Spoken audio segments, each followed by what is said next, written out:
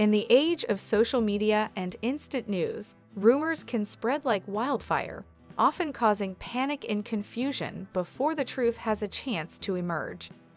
Recently, one such rumor that has shocked fans of Little People, Big World, is the claim that Amy Roloff, a beloved star of the reality TV show, has passed away.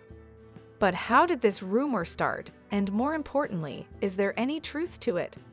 Let's dive into the details to set the record straight. The genesis of the rumor. The rumor of Amy Roloff's death seems to have originated from misleading posts on social media and unverified sources. It's not uncommon for celebrities and public figures to become the target of death hoaxes, where false reports of their demise are circulated online. In Amy's case, a few Twitter and Facebook posts suggesting that she had passed away quickly gained traction, leading to widespread concern among fans. Amy Roloff's response. Thankfully, Amy Roloff is very much alive. She addressed the rumors directly on her social media platforms, assuring her followers that she is healthy and doing well. Amy took the opportunity to thank her fans for their concern and support, but also expressed frustration over how easily such misinformation can spread. She reminded everyone of the importance of verifying news from reliable sources before sharing it the impact on Amy and her family.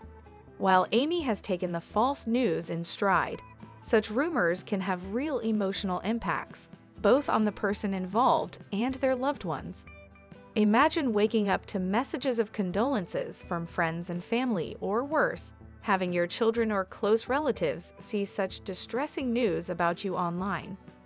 The Roloff family, who are no strangers to the public eye, have had to deal with numerous challenges over the years, but dealing with false death reports adds an unnecessary layer of stress. The role of social media in spreading misinformation. The Amy Roloff death hoax is a stark reminder of how quickly misinformation can spread in today's digital age.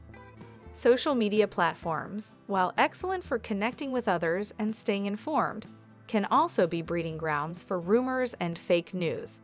It's essential for users to approach sensational claims with skepticism and to cross check information against reliable news outlets before believing or sharing it. Amy Roloff's ongoing projects and future plans. Despite the unsettling nature of these rumors, Amy Roloff continues to thrive. She remains active on social media, regularly updating her followers on her personal life, family events, and ongoing projects.